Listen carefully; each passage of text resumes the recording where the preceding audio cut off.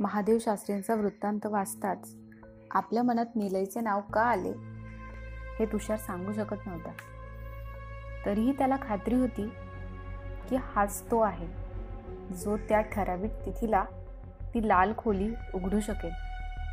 राजकुंडाचे वर्णन केलेला भाग भारत आणि श्रीलंकेच्या मधला भाग असावा किंवा थोडासा तिरका जाऊन पुढे असणारा भाग असावा. हजारो वर्षांत जमिनीच्या उलथापालथीत भूभागात खूप बदल झाले होते. महादेव शास्त्री हुशार होते. त्यांनी दिलेल्या खानाखुना आजही लागू पडतील ही त्याला आशा होती. मग त्याला बरोबर कोणाला घ्यायचे हा प्रश्न होता. तो माणूस विश्वासू हवा. महादेव शास्त्रींच्या सहकाऱ्यांनी ज्याप्रमाणे त्या बेटावरून पहिल्या वेळेस त्यांना परत आणलं तसाच त्यालाही परत आणणारा कोणीतरी साथीदार असायला हवा होता. त्यासाठी निलय हाच एक पर्याय होता. मग तुषारने त्याला विश्वासात घेऊन सर्व सांगितलं. हे दार फक्त निलयच उघडू शकतो हे वगळे कारण cure curiosity kills the cat या म्हणीप्रमाणे व्हायचं. निलय नको ते करून बसायचा आणि त्याच्याबरोबर सगळं जग धोक्यात आणायचा. तुषार सामानाची जमवाजमव करत होता. ते इथूनच गाडी घेऊन निघणार होते. निघताना इतर सामानाबरोबर तुषारने एक मोठा आरसा घेतला होता. तीन दिवस प्रवास करून शेवटी महादेव शास्त्रींनी सांगितलेल्या गावाजवळ ते पोहोचले. नाविकांचा तो गाव आता अस्तित्वातही नव्हता. तिथे नुसतं ओसाड होतं. काही कोळ्यांच्या झोपड्या होत्या. तसा हा भाग जास्त वावराचा वाटत नव्हता. मग तुषारने एक नाव मिळवली. त्यात एक दिवसासाठी लागणारे अन्न पाणी भरले. महादेव शास्त्रींच्या वृत्तांतानुसार त्या बेटावर आपल्या जगातील कोणतीच गोष्ट घेऊन जाऊ शकत नव्हतो. त्यामुळे त्यांनी फक्त निलयची सोय होईल इतकेच सामान घेतले. काळोख पडल्यावर ते त्या ओसाड गावात फिरू लागले. तुषारला त्या वृद्ध माणसाच्या झोपडीची जागा शोधायची होती. ज्यांनी शास्त्रींना मदत केली होती. खरं तर तिथे काहीच नव्हते. नुसतं ओसाडनी खुरटी झोपडी. तुषार मात्र बारीक नजरेने शोधत होता. निलय कंटाळून तिथल्याच एका खडकावर बसला आणि तुषारचे डोळे चमकले. हे बघ निलय निलयला काहीच दिसत नव्हते. तुषार निलय बसलेल्या खडकाकडे पाहत होता. अरे तू बसला आहेस ना? तो खडक नाहीये. ती फार जुनी गावची वेस आहे. अशी वेस गावच्या शेवटी असायची. म्हणजे त्या माणसाची झोपडी इथेच असणार. तुषार काही पावलं चालून एका ठिकाणी बोट दाखवत म्हणाला. तुषारकडे काही आधुनिक उपकरणे होती. ती त्यांनी स्वतः बनवून घेतली होती. ती त्याला अनेकदा उपयोगी पडत. ती दिसायला छोटी मात्र खूप कामाची असत. अशाच एका उपकरणाने त्याने जमीन खोदायला सुरुवात केली. त्या माणसाच्या झोपडीची जागा खोदून तुषारला काय मिळणार हे निलयला समजत नव्हते. इतक्या हजार वर्षानंतर काय राहिले असेल? शंकाच होती. तरी तो बघत बसून राहिला. हळूहळू खड्डा मोठा होत होता. इतक्यात तुषारने जोरात हाक मारली. तसा तो धावत गेला. पाहतो तर काय? त्या जागी एक घराचे अवशेष होते. इतकंच नाही तर त्या झोपडीखाली छोटे तळघर होते. त्याचे दार अजून शाबूत होते. जरा जोर देताच ते उघडले. तुषारने मेणबत्ती पेटवली. ते खाली गेले. ती एक अगदी छोटी खोली होती. त्यात जुने सामान होते. कपड्यांच्या तर चिंध्या झाल्या होत्या. जुने मासे पकडण्याचे गळ जाळ्या असे सामान होते. मग तिथे भिंतीत एक कोनाडा होता. नीट पाहिलं नसता तर दिसलाच नसता. त्यात एक हस्तिदंती पेटी होती. ती घेऊन ते बाहेर आले व माती पूर्वीसारखी केली. ते घेऊन त्यांच्या नावेत आले. त्यात एक छोटी केबिन होती. ती अगदीच नावाला होती. तरीही डोक्यावर छत तर होतं. त्यांनी मेणबत्तीच्या उजेडात ती पेटी उघडली. आता काही लेख मिळाले त्यांना. त्यात पेटीच्या आत लेख होते. ते अतिशय पातळ धातूच्या पत्र्यावर लिहिलेले होते. नीट पाहिल्यावर तो धातू चांदी आहे हे त्यांच्या लक्षात आले.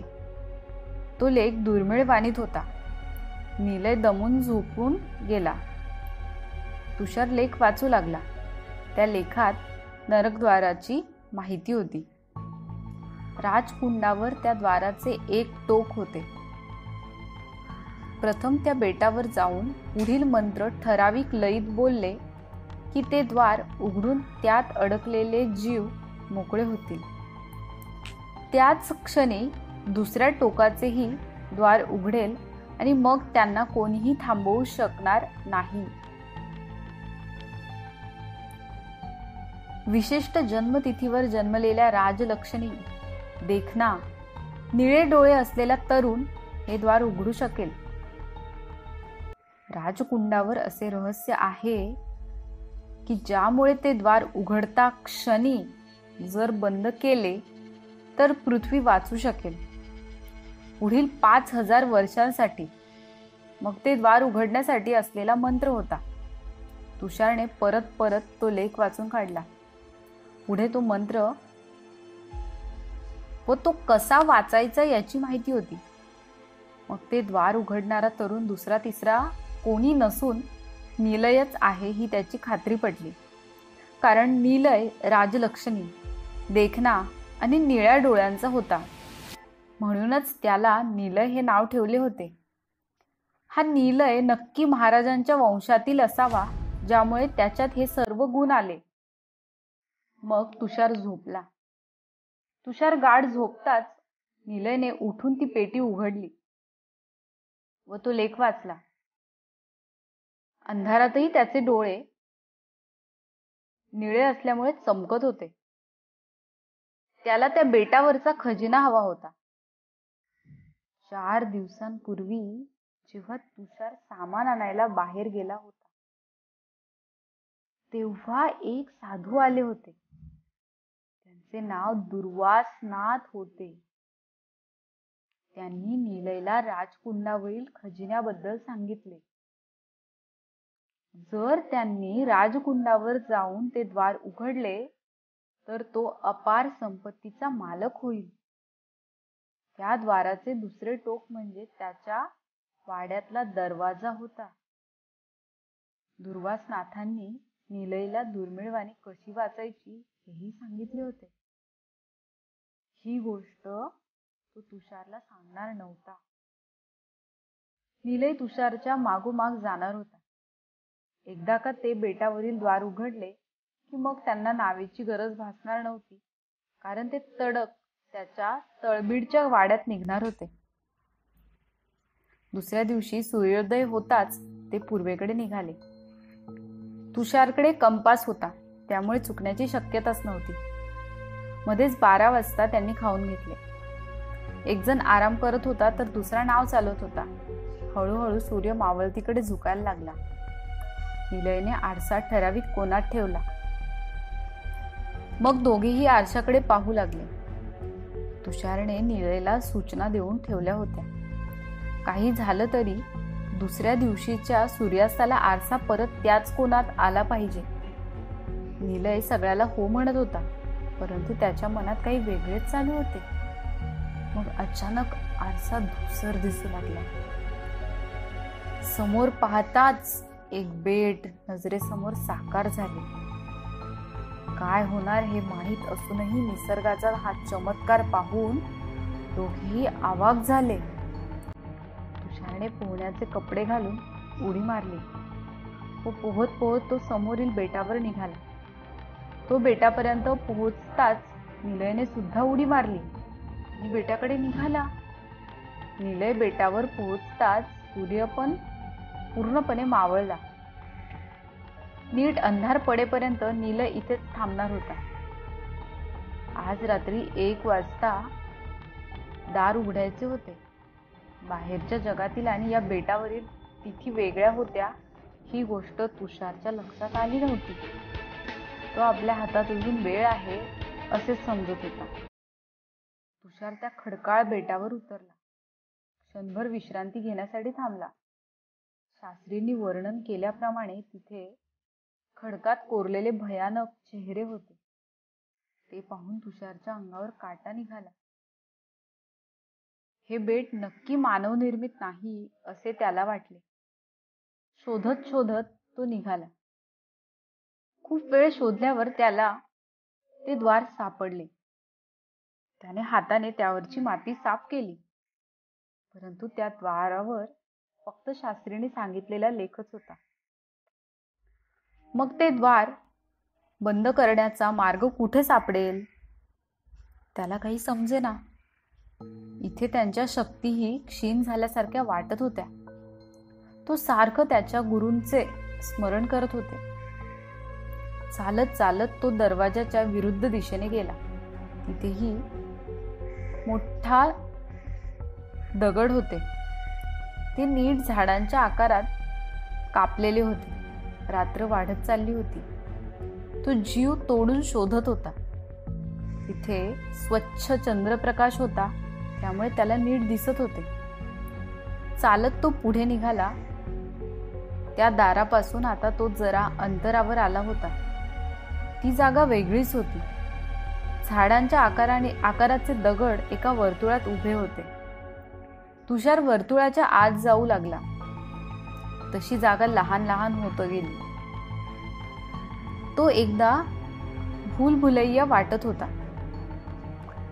आत जाताच तुषारला एक छोटेसे देऊळ दिसले. त्याने आत जाऊन पाहिले तर त्यात विष्णूची मूर्ती होती. म्हणूनच या ठिकाणांचे वातावरण वेगळे आणि पवित्र वाटत होते.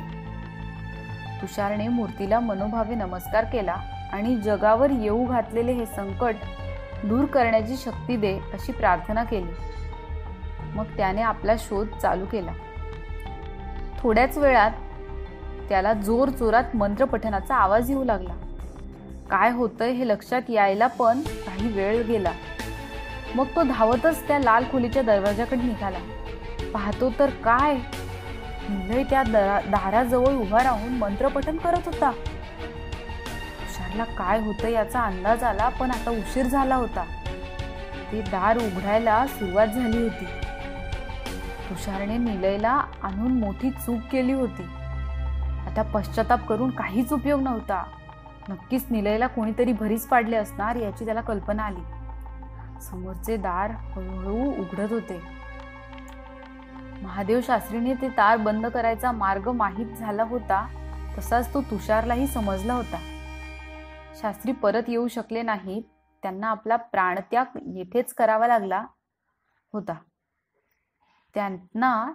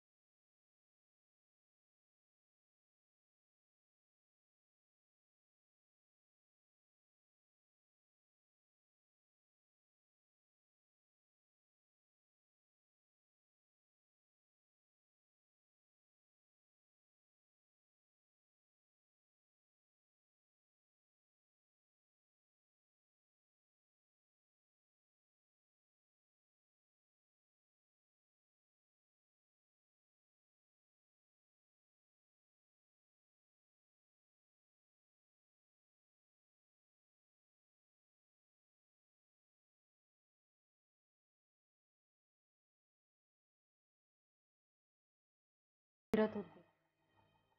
उकळत्या लाव्हारसाप्रमाणे सर्वत्र ते रक्त उसळत होते. काही प्राणी माणसांना बांधून त्यांना पेट्या पेट्या आगीत ढकलत होते. तर काही त्यांना भक्षण करत होते. प्रचंड उष्णता त्या वातावरणात होती. जर आपण पृथ्वीला वाचवले नाही तर पृथ्वीची काय अवस्था होईल हे पाहून तो बेचैन झाला. त्याचा निश्चय अजून पक्का झाला आणि तो पाय रोवून उभा राहिला. त्याने मोठ्या आवाजात सुरुवात केली. ओम शुक्ल बरंधर विष्णू शशीर्वर्णम चतुर्भुजम. तो न थांबता अखंड बोलत होता. समोरच्या उष्णतेच्या झळा त्याला लागत होत्या. त्याच्याबरोबर मानव सदृश प्रचंड जीव साकार होत होते. लवकरच ते त्याच्या जगात प्रवेश करणार होते. ते अत्यंत प्रचंड होते. त्यांचे रूप तुषारने विष्णू मंदिराच्या भिंतीवर काढलेल्या चित्रात पाहिले होते. तरीही त्याचा थरकाप होत होता. त्याच ठिकाणी त्याला एक खंजीर मिळाला होता. तोही आता त्याच्याजवळ होता. तुषार अखंडपणे विष्णू सहस्रनाम जपत होता.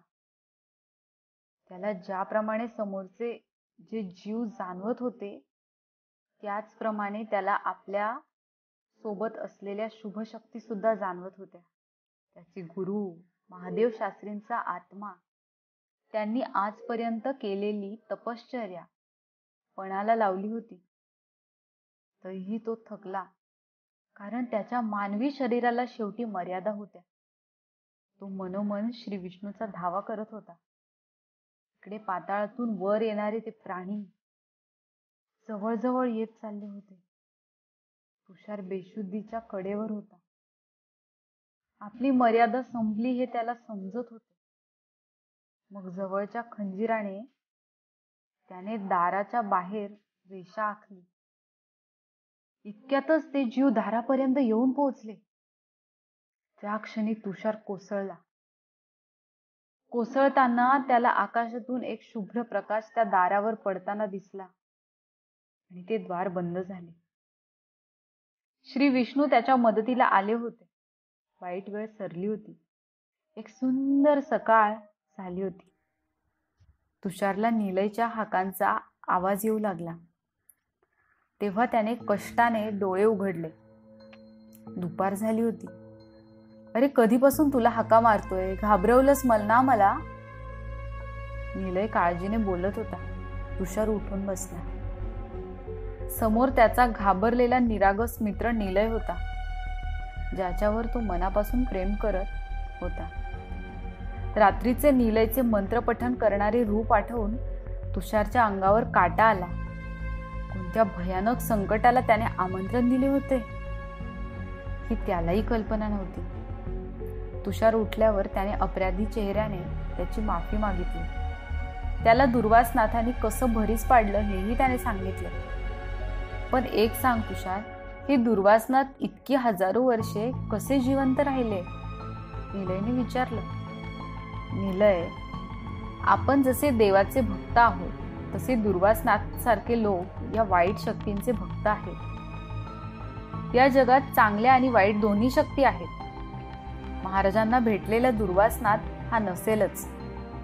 तेच नाव घेऊन ती परंपरा त्याचे शिष्य चालवत असतील. कोण जाणे? अरे मी तर नाव सोडून आलो आता आपण जाणार कसे? मला वाटलं की हा दरवाजा उघडला की मला खजिना मिळेल. मग आपण पलीकडे आपल्या वाड्याच्या लाल खोलीतून बाहेर निघू. मग नावेची काय गरज आहे? तर काय ते करायचे? हे बघ नेलं. आपल्याला देवच मार्ग दाखवेल. चल आपण जिथून या बेटावर प्रवेश केला तिथे जाऊन थांबू. दोघे निघाले. आता ते बेट तुषारला परक वाटत नव्हतं. जाताना त्यांनी त्या प्रचंड दगडी पुतळ्यांकडे पाहिले. त्यांच्या चेहऱ्यावरचे क्रूर भाव त्याला आता मृदू झाल्यासारखे वाटत होते. ते काठावर येऊन थांबले. समोर धुकं होतं. ना समुद्र ना बाहेरील जगातील काही खून. तुषारने मनापासून श्री विष्णूंना आळवले. इकडे त्याची नाव तशीच उभी होती. परंतु आरसा पडला होता. इतक्याच समुद्रात प्रचंड लाचटा उसळू लागल्या. खूप उंच आणि एका मोठ्या लाटेवर मावळतीच्या सूर्याचे किरण पडले. आणि ते बेटावर प्रतिबिंबित झाले. बेट बाहेरच्या जगासाठी साकार झाले. त्या क्षणी तुषार आणि निलयने पाण्यात उड्या मारल्या. ते पोहत नावेकडे निघाले. समुद्र काहीच झाले नाही. असा शांत झाला. तुषारने पोहताना मागे वळून पाहिले. पेट अदृश्य झाले होते. ते नावेवर आले. कपडे बदलून खाऊन घेतले. तो दार उघडण्याचा मंत्र असलेली पेटी तुषारने खोल समुद्रात सोडून दिली. मग ते किनाऱ्याकडे निघाले. ते वाड्यात आले. आराम केला. दुसऱ्या दिवशी पाहिले तर तो लाल दरवाजा तसाच होता. निलयचा प्रश्नार्थक चेहरा पाहून तुषार म्हणाला जगात काही गोष्टी अविनाशी आहेत. त्यातलाच हा एक दरवाजा. तो असाच राहणार. मग तो परत उघडायला जाण्याची शक्यता आहेच ना? काही हजार वर्षांनी का होईना? निलय बोलला. हो नक्कीच निलय. तो परत उघडण्याचे प्रयत्न होणारच. त्यावेळी हे थांबवायला आपण नसू. पण कोणीतरी असेलच ना. दोन हजार वर्षांपूर्वी महादेव शास्त्री होते. आता मी आहे. नंतरही कोणीतरी येईलच. आणि ते दार उघडणारा निलय सुद्धा असेलच ना. दोन हजार वर्षांनी. निलय बोलला. दोघेही खूप हसले. तुषार आणि निलय त्यांच्या कामात व्यस्त झाले. निलय हे सर्व विसरून नाही गेला. पण तुषार ना. नाही कारण त्याला विष्णू मंदिरातून भेट मिळालेला कंठा त्याच्या गळ्यात होता. त्याला ही जाणीव देत असे की पुन्हा जेव्हा या जगावर हे दार उघडण्याचे संकट येईल तेव्हा तुला परत यायचे आहे. किमान दोन हजार वर्षांनंतर झारा आणि झेन पती पत्नी होते. समुद्रावर फिरत असताना हे झेन बघ एक बॉक्स आलाय वाहत. चल बाहू. बॉक्स उघडून बघतात. यात काहीतरी लिहिलंय सिल्वर फॉइलवर कोणती लँग्वेज आहे माहीत नाही. ही दुर्मिळ वाणी आहे. एक जुनी भाषा आहे. मी शिकवतो तुम्हाला वाचायला. एक साधू हात जोडून म्हणाला नमस्कार मी दुर्वासनाथ या लेखात एका मोठ्या खजिन्याचे रहस्य आहे. झेनचे निळे डोळे ही गोष्ट ऐकून चमकली.